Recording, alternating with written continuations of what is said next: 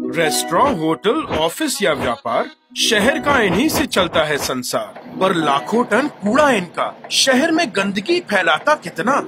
जिम्मेवार नहीं जिम्मेदार बनो। गीला सूखा कचरा अलग रखो। गीले कचरे का बनाए कंपोस्ट जिसको बेच इनकम बढ़ाएँ या आसपास फैलाएँ हरियाली मेरे दोस्त। सूखा कचरा म्यूनिसिपैलिटी या रजिस्टर्ड रिसाइकलर को दें जिससे शहर की साफ़ सफ़ाई में आपके योगदान बढ़े। और अगर रोज़ाना आपका कूड़ा है सौ किलो से ज़्यादा तो वैसे भी नियम अनुसार उसका उपाय करना आपका ही जिम्मा बन जाता। तो ज़िम्मेदारी निभाओ। स्वच्छ सर्वेक्षण में अपने शहर को नंबर वन बनाओ। है ना बात सही? स्वच्छ भारत का इरादा।